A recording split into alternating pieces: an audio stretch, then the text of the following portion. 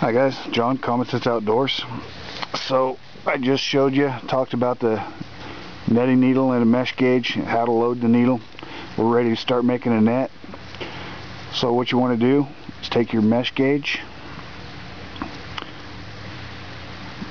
take your cordage, hold it there, wrap one time, two times, and then tie a square knot right here.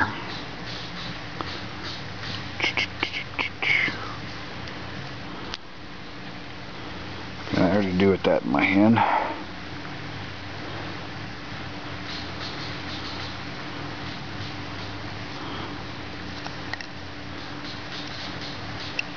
Now this isn't going to be a, a real strong knot and we're going to cut it out later. It just has to get us started.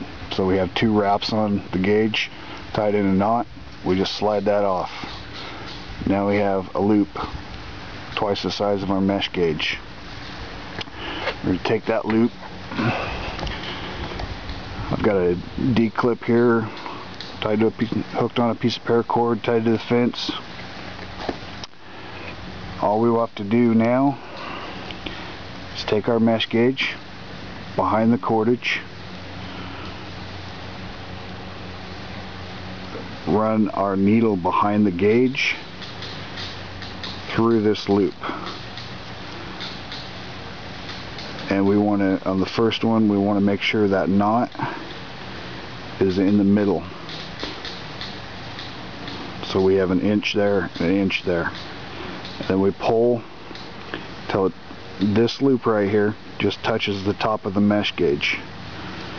Now you can see we have three lines. One, two, three there.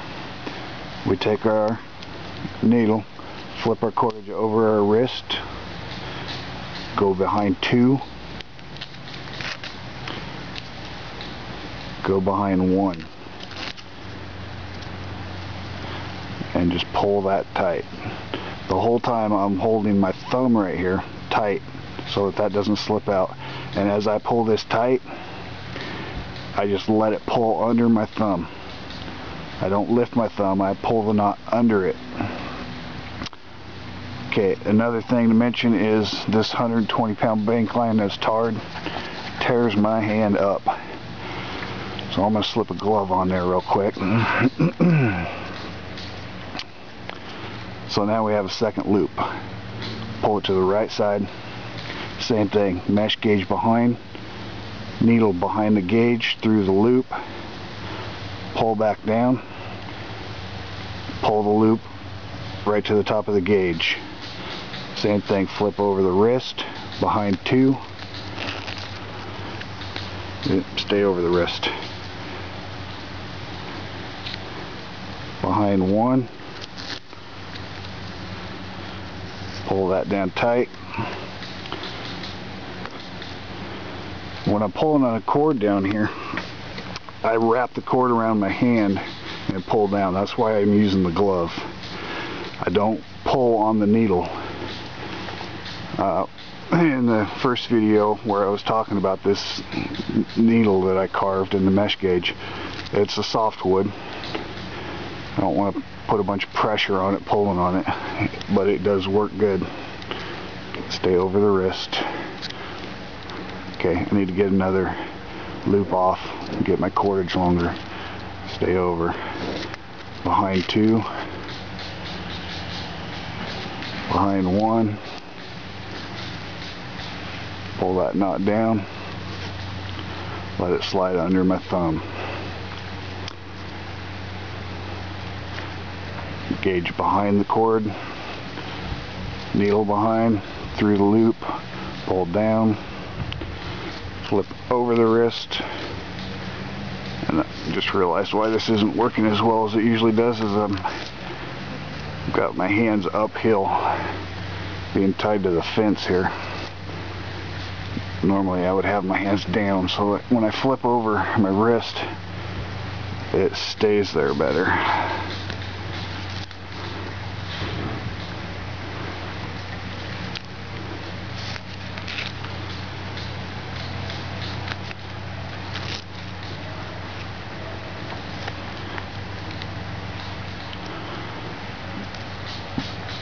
see how many we got now. One, two, three, four, five, six.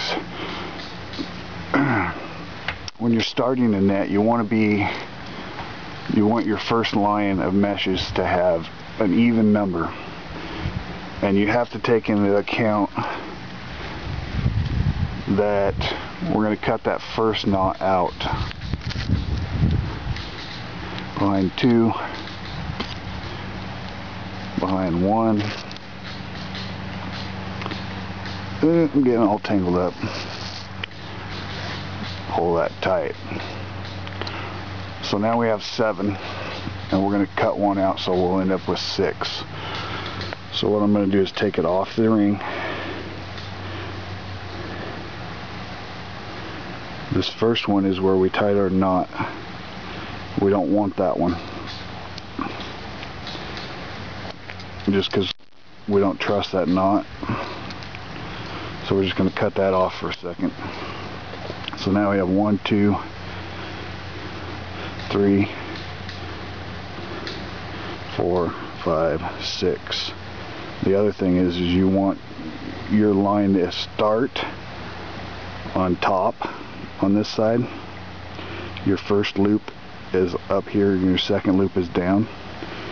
And on the left side it will end on the bottom instead of the top. So now we take our top row meshes, one, two, three of the six, and we just hook them over our ring just like that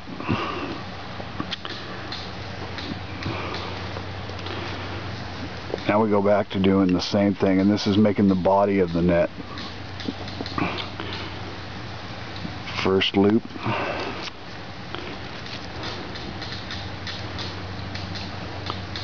This is the same exact thing we were doing. Flip over the wrist. Behind two, behind one, pull our knot tight. The only thing different now that we're making the body is we don't slide that off of our mesh gauge. We'll leave it on there. We'll go behind the mesh gauge with our needle, grab our next loop, pull it down to the top. I got something crooked there a little bit. flip it over the wrist, behind two, stay over the wrist. It's not easy uphill. Pull it tight. Again, leaving it on, behind, up through the next loop, pull that down to the top of the mesh gauge, flip over the wrist, behind two, behind one, pull that knot tight. Now we've just made another row of meshes. We slide those off. There's that knot coming tight. Now, to keep going, you want to work left or right every time. So all you do is flip the whole thing over and do it again.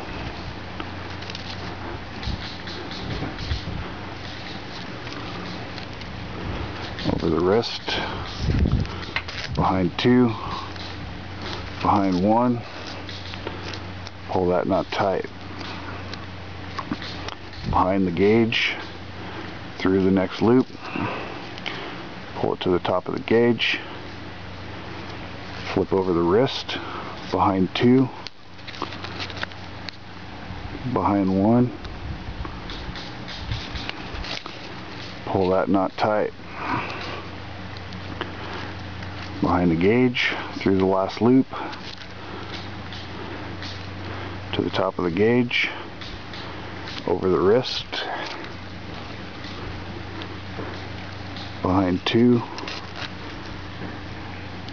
behind one, pull that knot tight. now I started with six meshes which gives me three loops on my ring um, to make a 14 by 17 triangle or rectangle sorry. I would have seven loops around the ring and end up with a net this size. My next video I'm going to show you several survival uses for a net this size. Um, 32 35 cents worth. A lot of uses you can see what's starting to happen here and I only started with three.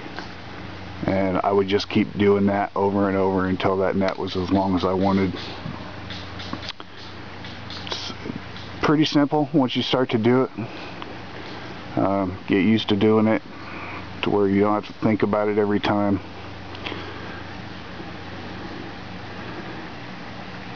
So you know I haven't known how to do it very long learned how to do it started doing it it's pretty easy. So give it a try guys. Hope you like it. Hope I explained it okay. Like comment subscribe.